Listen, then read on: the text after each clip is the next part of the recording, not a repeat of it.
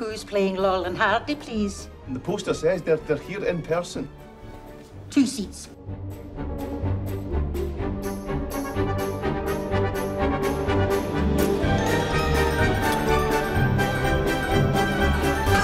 The whole process of making Steve and John into Stan Laurel and Oliver Hardy was a long one, you know, particularly getting Hardy right because there was a lot more prosthetic involved for John. There was the, the fat suit that had to be made, there was the, the facial stuff, there was contact lenses, there was wig. Mark Coulier, who did the prosthetics, he's a double Oscar winner. As soon as I found out John C. Reilly was playing Hardy and Steve Coogan was playing Laurel. I couldn't actually think of anybody better, any pair that would be better than those two. For the time we were shooting this film, this area right here was exposed and this area on my flats of my hands. That's it. The rest of my body was encased in prosthetics or a fat suit. It was like wearing a mask on your whole body. And that mask was so convincing that it made me believe, sort of from the outside in, that I could play the character.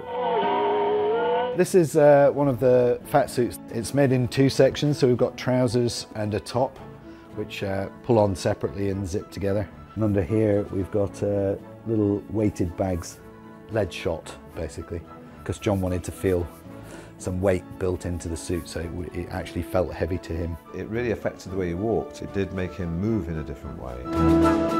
The prosthetics are destroyed when you take them off, so it's a new set of prosthetics for each day of filming. We will have 40 heads. John's makeup is broken up into two sections. It's the neck piece, which is over here, and then the face piece here. This would actually be sat on here. This is the plastic membrane, which is very fine, and that's what dissolved into the skin. Steve's process was probably slightly easier. He needed little things. He's got a chin piece, ear tips, just to make the ear stick out at the top. It really helped because I look in the mirror and uh, see someone different and it helps you, it gives you a clue. You think, oh, I think I know who that is behind that look because I'd look at myself and I thought what I saw was very different from me.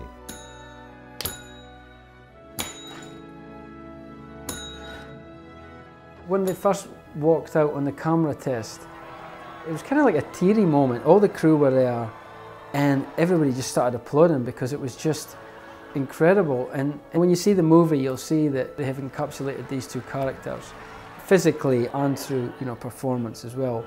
I don't think we could have done any more to get them to where they had to be as the real guys, you know.